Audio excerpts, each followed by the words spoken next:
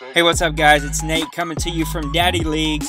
Good news Madden 17 app is finally out and live. You probably have heard by now, but if you haven't, you need to go get it. I'm just making a quick video to help walk you through how you should sync your league to the app so you can get Daddy Leagues up and running for you. I'm a Mac guy, so I'm going to show you this on iTunes, but I do know that this works for all of the Android phones and everything other device that you have. Just go to the App Store, type in Madden Companion, and find the Madden 17 Companion app.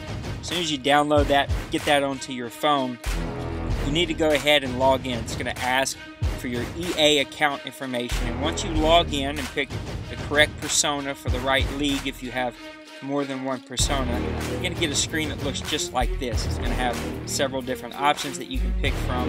You want to top, click the top where it says Cloud Franchise so you can manage all of the different franchises that you're in. When you do that, you're going to get the next screen that looks just like this. So it's going to show you all the stats from your league.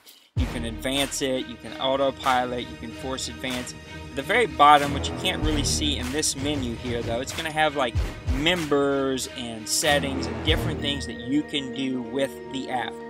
All the way to the right at the bottom, you're going to have an export function. I'm going to click that at the very bottom and it's going to bring you to a screen where it asks for you to enter a website address so that you can sync or export your stats from the app to that website. Then you're going to go over to your Daddy Leagues page. You can do this on your phone, you can do this live, you can do this on your Mac, your laptop, whatever you want, whatever device that you would like to use. Pull up your Daddy Leagues website. I'm going to show you mine. You're going to click admin. And then right here where it says sync league, it's going to give you a URL. You want to copy that. Unfortunately, one of the frustrating things is you can't copy and paste. So if you are using your phone, you can't copy this link and try to paste into the app. It just won't work. At least it, it didn't work on my iPhone. It may work for you, but it didn't work for me. So you need to write this down. daddylg.com slash whatever your link is. This is our link for our league. But you need to do whatever link that you have. Probably going to blur this out too, just so that we don't have any funky stuff. But you can have a daddyleague.com slash something slash something. You want to write that down.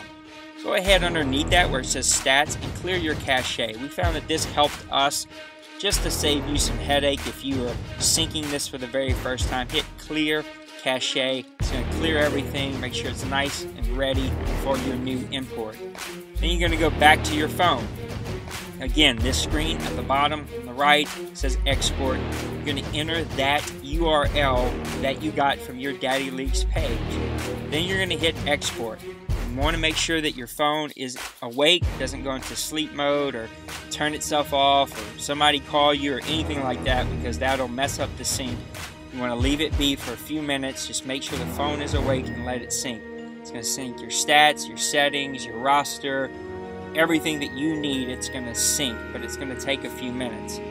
As soon as it finishes syncing, you'll come back to your page, click home, it should show you now your schedule at the top, all of your standings. For us, it took a little bit, probably uh, almost 24 hours for the stats to show up here on the front page on the side, but the stats did start to show up underneath each individual uh, team page.